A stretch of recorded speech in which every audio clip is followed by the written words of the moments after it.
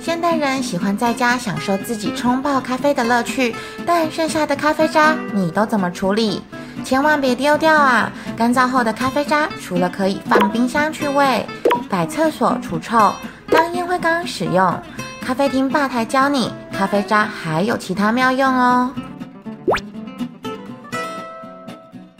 咖啡渣可以当做天然又环保的磨砂粉使用，利用干燥咖啡渣倒入初榨橄榄油，充分拌匀，在身体上涂抹搓揉，有清洁毛孔和去角质的作用，可以让皮肤更鼓溜哦。不过，皮肤科医师陈柏宏表示，咖啡渣当做身体去角质剂，要选择细小的颗粒，并且先以身体小部位试用，确认不会造成皮肤过敏。而自制的去角质剂也不建议使用在脸上，免得造成过度刺激。此外，如果咖啡渣处理不当，因潮湿而有霉菌在其中滋生，对皮肤反而是种伤害。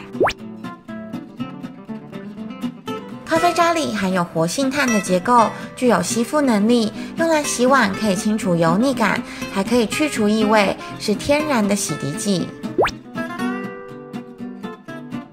昆虫不喜欢咖啡浓烈的味道，将咖啡渣覆盖在盆栽土壤表面，还可以借此驱赶瓜牛、田鱼等软体动物，当做天然防虫剂也很适合。驱虫之余又不会伤到植物。东新闻采访报道。